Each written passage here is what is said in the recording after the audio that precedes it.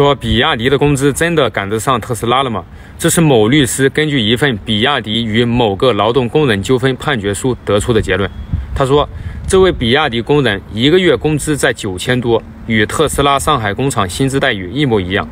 但是有些细心的网友在判决书上发现了，该工人这九千块钱到底是怎么来的？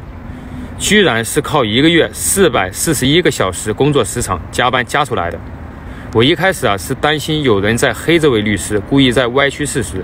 于是啊我自己在法勤宝上查阅了该判决书，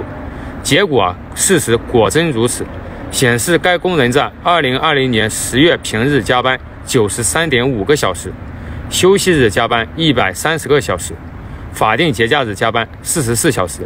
折算标准是按基本薪资标准两千两百八十四元算的，那九千块钱就是这么来的，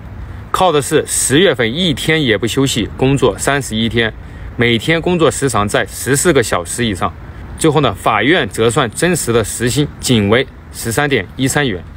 那这位律师还敢大言不惭到比亚迪工人工资与特斯拉工人一样，不知道他是如何计算的。最后啊，我果断拉黑了这位律师。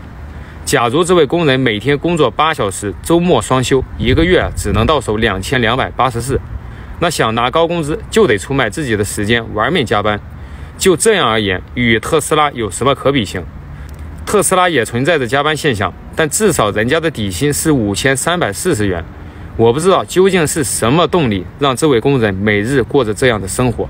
在比亚迪一干就是三年，只知道他后来辞职了，理由很诗意。他说：“冬天的雪好漂亮，我想去看看。”